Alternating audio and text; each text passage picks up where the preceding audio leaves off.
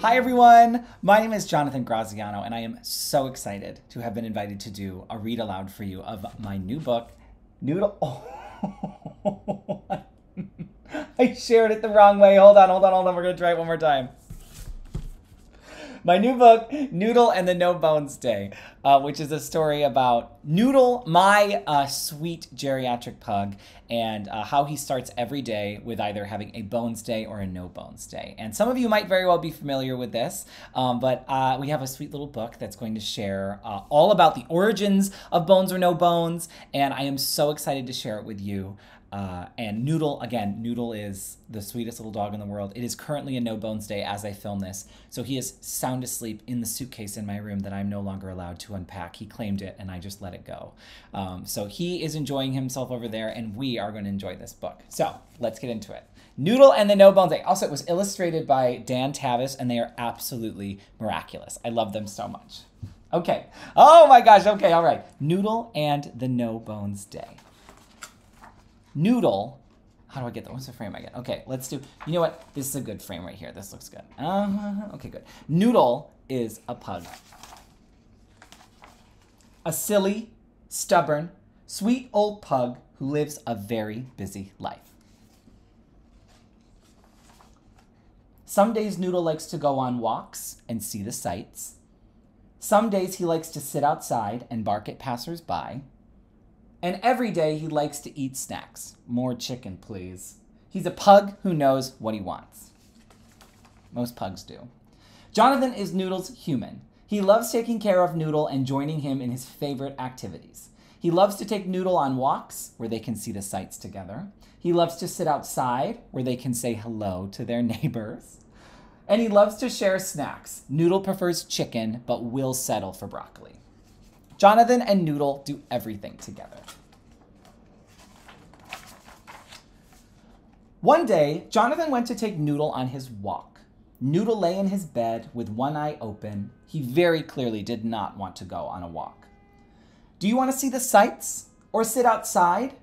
Or have some snacks? Jonathan asked. Noodle did not want to see the sights or sit outside. He did want snacks, but still, he stayed in his bed. Concerned, Jonathan tried to sit him up, and Noodle, in his silly, stubborn, sweet way, plopped back down into his bed and went to sleep. Wow, Jonathan said. It's like he doesn't have bones. At that moment, Noodle let out a big sneeze. Now, if you're watching this, I would encourage you right now to let out a very big sneeze with me. I'm going to count to three. One, two, three. Chew! Excellent, amazing. You did such a great job. It was just like that. And for those of you who don't speak pug, a sneeze means yes. Huh, thought Jonathan. Noodle's bones had never disappeared before. Was he sick? Jonathan checked his nose, but it was soft and perfect as usual. It really is soft and perfect. I have to butter it, but it's soft and perfect. Maybe Noodle was just sad. Jonathan gave Noodle a bunch of belly rubs to get him revved up. We got scratches right there, little scritches right there, and sweet little pats right there. Noodle lapped up the attention, but he burrowed in deeper. Perhaps Noodle was hungry. He was, as always. But still, he stayed in his bed. But what about all of our fun activities? Jonathan asked, and Noodle stared at him.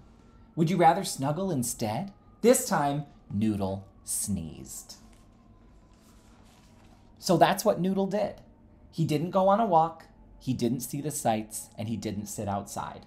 Instead, he snuggled in his bed, he enjoyed lots of belly rubs, and he ate many snacks. He loves bananas, loves bananas. And he was happy. A happy, silly, stubborn, sweet pug enjoying a relaxing day. A no bones day. Jonathan looked at Noodle enjoying his no bones day and decided he would have a no bones day too.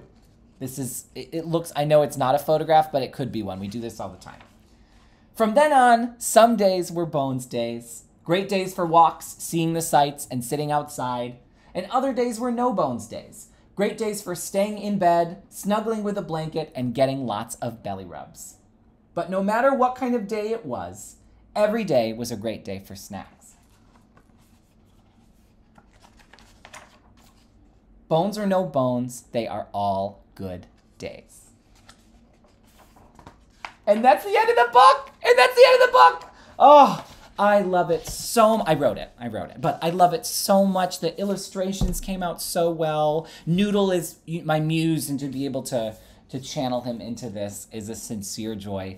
Um, so the book is called Noodle and the No Bones Day. It comes out on June 7th. It's available for pre-order everywhere. Um, thank you all so much for the support, for loving this dog, and for giving me the opportunity to share this with you. It's a sincere, a sincere pleasure and a privilege. I hope you all have a wonderful bones or no bones day, whatever you prefer. It's all up to you. Bye.